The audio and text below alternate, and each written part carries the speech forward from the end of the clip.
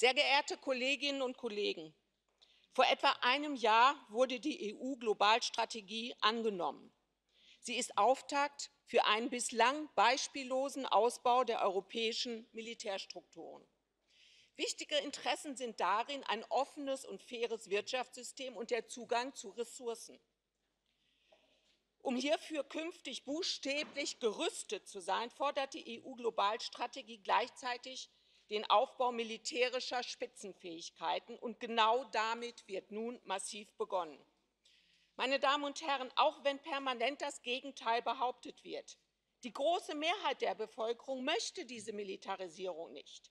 Was die Menschen wollen, ist eine friedliche, demokratische und soziale Europäische Union. Heute mehr denn je. Und was tun Sie? Genau das Gegenteil. Einige Beispiele. Im Rahmen der sogenannten ständigen strukturierten Zusammenarbeit sollen wichtige Teile der EU-Außen- und Sicherheitspolitik in die Hände einiger weniger Staaten gelegt wird, werden. Wie mag das wirken auf die in vielen Ländern schon jetzt vorhandene EU-Skepsis? Als ein Ziel des Friedensprojektes EU soll kein Land je wieder die Vorherrschaft in Europa haben. Ja, wie sehr will man eigentlich die Realität noch verleugnen? Mehr und mehr sagen die großen und reicheren Länder, allen voran Deutschland, den anderen, wo es langgehen soll, wirtschaftlich und militärisch. Das ist schlimm, das ist gefährlich. Nächstes Beispiel. Seit Juni existiert das neue EU-Hauptquartier.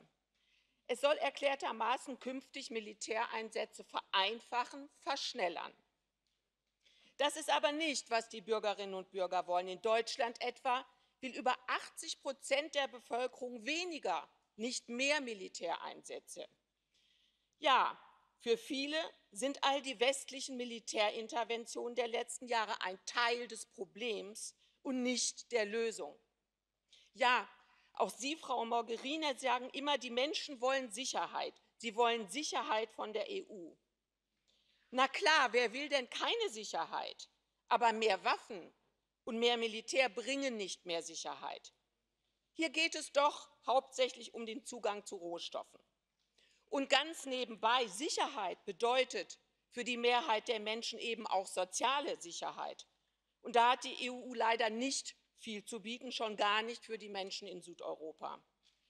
Deshalb wollen die meisten angesichts der sozialen Schieflagen auch nicht mehr Geld für Rüstung ausgeben.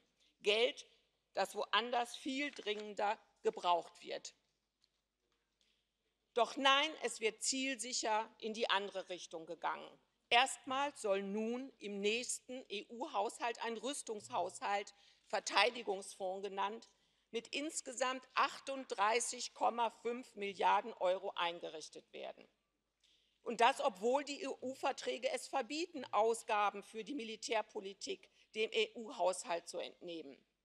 Es steht im Absatz zur GSVP. Doch nach der Devise, was nicht passt, wird passend gemacht, soll das Verbot umgangen werden, wird einfach ein anderes Kapitel für die Rüstungsgelder genommen. Nicht mehr im Kapitel zur GSVP, sondern flugs mal umplatziert in die Wettbewerbsförderung. Also da kann einem wirklich der Glaube an das Recht verloren gehen. Sehr geehrte Kolleginnen und Kollegen, noch einmal. Die Bürgerinnen und Bürger wollen ein demokratisches, friedliches und soziales Europa Handeln Sie endlich danach, handeln wir endlich danach und verlassen den Kriegspfad, auf dem sich die EU derzeit befindet. Vielen Dank.